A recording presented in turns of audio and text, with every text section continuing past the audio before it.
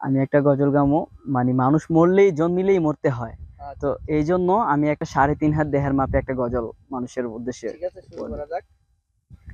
আসসালামু আলাইকুম রহমতুল্লাহি অবরিকাতু সাড়ে তিন হাত দেহের মাপে বানালো এক ঘর।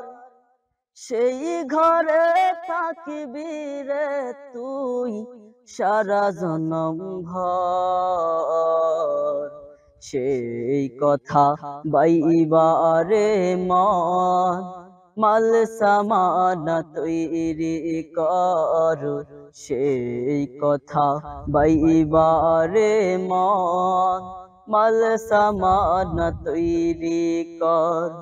সাড়ে তিন হাত দেহের মাপে বানালো এক ঘর।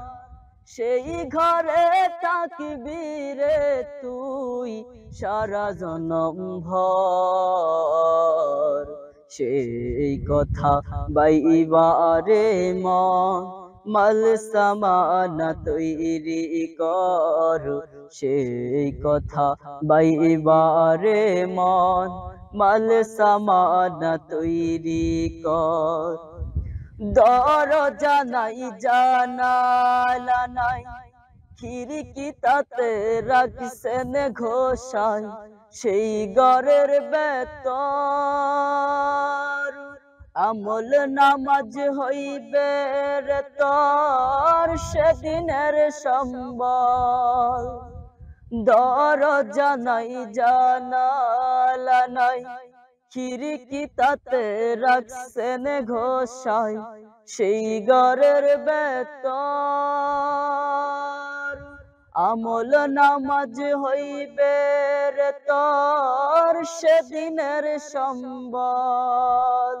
বিনা ভাদায় তোর ফুলসিরা বিনা ভাদায় তোর ফুলসিরা পার হইবার রাস্তা দর সেই কথা বাইবারে মন মাল সামানা তৈরি কর সেই কথা বাইবারে মন মাল সামানা তৈরি কর।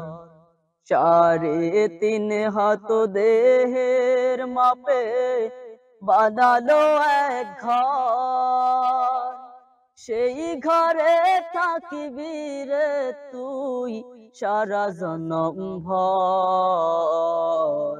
সেই কথা বাইবারে মন মাল সামানা তৈরি কর।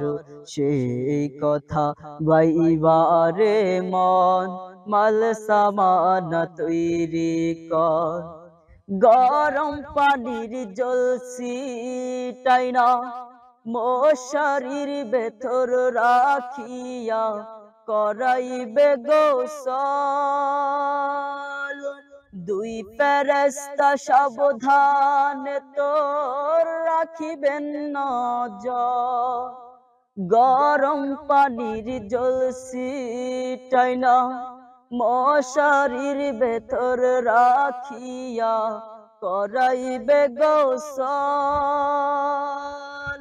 দুই ফেরেস্তা সাবধান তোর রাখিবেন নজর।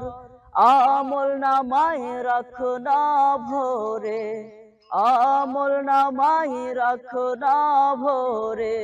সোয়ালের উত্তর। সেই কথা বাইবারে মন মাল সামানা তৈরি কর।